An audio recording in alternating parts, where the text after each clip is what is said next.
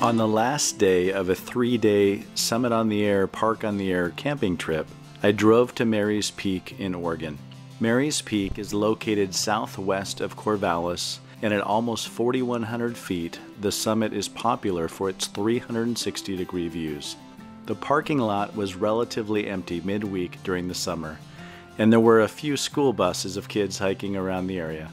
The shortest hike to the summit was along a gravel road and I then followed a shortcut trail to get to the summit. Total hiking distance was a little over one mile and 300 feet of gain. I spent a few hours on the summit making radio contacts and enjoying the views. On the 2 meter band, I made four contacts using the Elk log periodic antenna.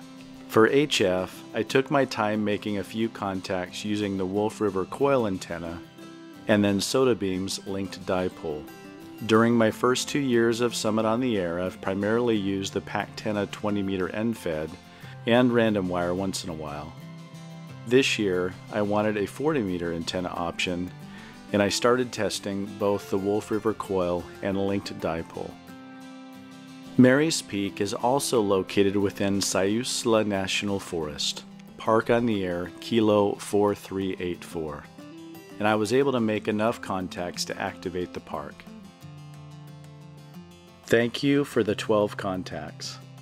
There are many great chasers for this three day, five summit trip.